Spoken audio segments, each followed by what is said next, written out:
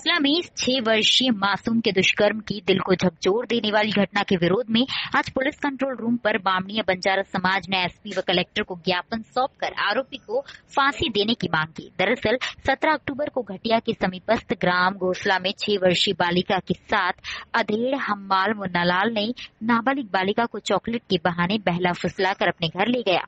दरवाज़ा बंद कर मासूम बालिका से दुष्कर्म किया, जिसके विरोध में आज बामणिया बंजारा समाज ने एसपी व कलेक्टर को ज्ञापन सौंप कर आरोपी को फांसी देने की मांग की व केस को फास्ट कोर्ट में चलाने की मांग की।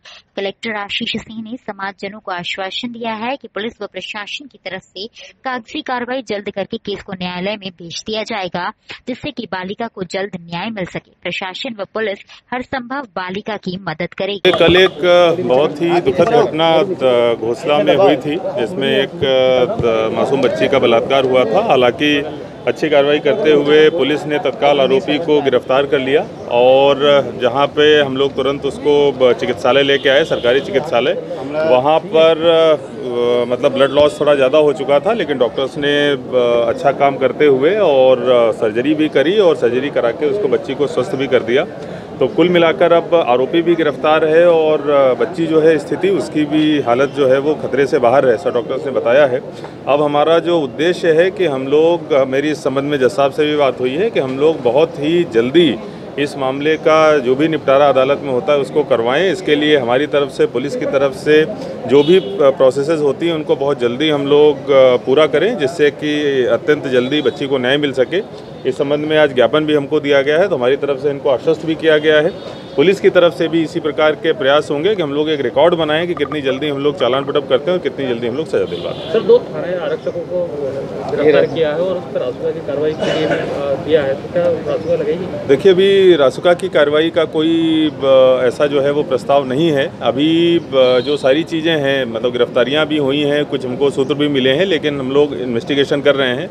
मुख्यतः मुझे लगता है कि आज शाम तक हमारी इन्वेस्टिगेशन लगभग पूरी हो जाएगी और पूरी पिक्चर लगभग साफ़ हो जाएगी तब हम लोग बता पाने में सक्षम होंगे कि आगे की क्या कार्रवाई सर ये इसमें गिरफ़्तार हुए अब तक। दो लोगों को हमने जो है अभी तक वो किया है गिरफ़्तार किया है और इन्वेस्टिगेशन शाम तक कंप्लीट होगी तब हमको पता चल पाएगा कि किसकी कितनी सहभागिता थी और आगे की क्या कर सर आप मौत के आंकड़ों को लेकर काफ़ी वो चल रहा है चल रहा तो कितने हैं टोटल देखिए टोटल बारह मौतें मैं पहले भी मैंने प्रेस रिलीज़ जारी करी थी कि बारह मौतें हुई थी जो इस प्रकार की जो घटना हुई थी शराब की जो उसमें या तो मेथेनॉल या कोई अन्य केमिकल मिलाकर बेचा गया था कल एक और घटना हुई थी जिसमें आरोप लगा था कि ये भी उसी प्रकार की घटना है। हालाँकि परिजनों का ये दावा था, लेकिन जो हमारा आरएमओ था, उस समय जिसने परीक्षण किया स्वास्थ्य का उसने भी इस चीज़ से इनकार किया कि कोई भी इस प्रकार के लक्षण पाए गए।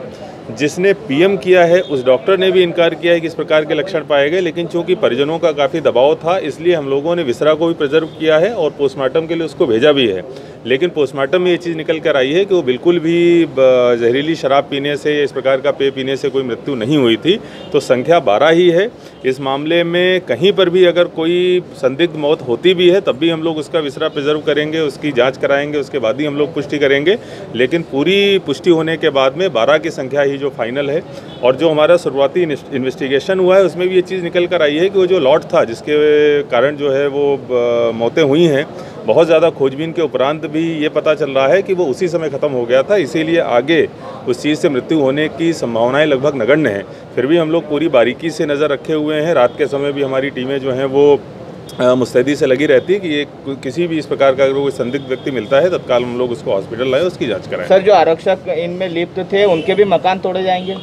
देखिए जैसा कि माननीय मुख्यमंत्री जी ने निर्देश दिया है कि कड़ी से कड़ी कार्रवाई करी जाएगी चाहे आरोपी कोई भी हो। और आज शाम तक जब तक इन्वेस्टिगेशन कंप्लीट होती है जो भी इसमें आरोपी पाए पाए जाएँगे जिनकी जैसी भूमिका होगी हम लोग उसी हिसाब से कार्रवाई करेंगे। किस प्रकार के आपके चल मेरे को करनी सेना के हमारे घोसला के पदाधिकारी हैं विजय बना। उन्होंने सूचना करी करीब सात बजे के आसपास। कि घोंसला में एक बच्ची के साथ कुछ गलत कृत्य हुआ है और उसको अस्पताल लेके पहुँचे हैं, वहाँ उसको इलाज नहीं मिल पा रहा। उसके बाद हमारे नगर टीम करनी सेना के कुछ कार्यकर्ता हॉस्पिटल पहुँचे, पर उस समय इलाज चालू हो चुका था। पता चला कि टीआई साहब खुद एमएलसी लेने गए और वो वहाँ से एमएलसी लेके आए। हमारा इतना ही कहना है, जिला प्रशासन श्रीमान कलेक्टर महोदय से कि वो जो वहाँ पे जिन्होंने मानवता को शर्मसार करा और दो घंटे उस बच्ची को इलाज में जो है लेट कर दिया और एमएलसी का जो का, का, कारण बता के और टीआई साहब को थाने जाना पड़ा। उन लोगों पे कम से कम कुछ तो नाम मात्र कार्रवाई कर दें। ठीक है हम मान रहे हैं ये समय गलत है कोरोना काल है अस्पताल में जो लोग काम कर रहे हैं वो योद्धा हैं। पर इस तरह मानवता को कोई शर्मसार करने का अधिकार किसी को नहीं दिया। वो सैलरीड एम्प्लॉय हैं और वो जनता की सेवा करने का पैसा लेते हैं। उनको कम से कम कुछ तो कार्रवाई उन पर होना चाहिए क्योंकि दो घंटे तक वहाँ मानवता पड़ी रही जिसको इलाज नहीं मिला वो छोटी सी बच्ची को।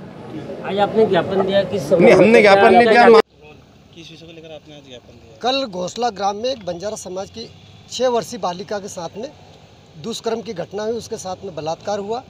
उस घटना को लेकर आज समाज के द्वारा आज एसपी साहब और माननीय कलेक्टर साहब को हम समाज के द्वारा आज ज्ञापन दिया गया है। उस ज्ञापन के माध्यम से हमने प्रशासन से ये मांग की है कि फ़र्स्ट कोर्ट में इस बच्ची का प्रकरण लगाया जाए। और जल्दी से जल्दी इस सुनवाई करके और जो मुंडा लाल करके जो व्यक्ति ने बलात्कार किया उसको फांसी की सज़ा हो, ऐसी हमने मांग समाज के माध्यम से की है। ये मानवता पर बहुत दुष् बहुत ही खराब अपराध है और इसमें सज़ा होने की हमने मांग की है। माननीय एसपी साहब ने भी समाज को आश्वासन दिया है कि हम इसमें बहुत जल्दी कार्रवाई करेंगे और फ़र्स्ट कोर्ट में केस लगाएँगे। सात दिन के अंदर कार्रवाई नहीं हुई तो फिर आठवें दिन वहीं रागवी थाना चल के फिर थाना का घेराव किया जाएगा। सात दिन में कार्रवाई अगर हाँ, नहीं यदि होती सात दिन दो मिनट ये मान करके चलिएगा आप तो एक रोड जाम किया जाएगा पूरा समाज जो एकत्रित होगा। बोलो बोलो। बोलो आप। हमारी ये भी मांग है कि यदि प्रकरण में जल्दी से जल्दी सुनवाई नहीं करी तो हम पूरा मध्य प्रदेश में बंजारा समाज पूरे मध्य प्रदेश में चक्का जाम आंदोलन करेगा और न्याय की मांग करेगा। मेरा नाम कालू बाबा है। मैं घटिया रहता हूँ। हौसला अंजुमन कमेटी से हूँ और हम हमेशा हिंदू मुस्लिम एकता स्थापित करते हैं और घोंसला में जो हमारी ये नंदी निंदी घटना हुई है, एक छः साल की मासूम बालिका जो हमारे बंजारा समाज पे आघात हुआ है, मैं इसकी कड़ी निंदा करूँ करता हूँ और जो माननीय कलेक्टर महोदय ने हमारे को आश्वासन दिया है कि सात दिन में हम फ़र्स्ट बेस पे इसका मामले का निराकरण करवाएँगे और जाँच करवा के आरोपी को कठोर से कठोर सजा देंगे। हम ये चाहते हैं कि आरोपी को फांसी हो और अगर सात दिन के अंदर हमारा जो आश्वासन अगर ये गलत साबित हुआ तो हम उग्र आंदोलन में मेरे बंजारा समाज के साथ खड़ा रहूँगा और हम उग्र आंदोलन की चेतावनी देते हैं। मेरा नाम जाहिद खान भोंसला।